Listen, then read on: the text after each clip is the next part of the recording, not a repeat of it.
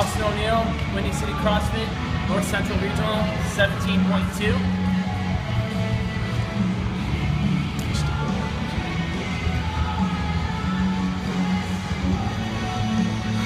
Got the rogue dumbbells, those are tens, fives, two and a halfs, and it's a 15 pound dumbbell.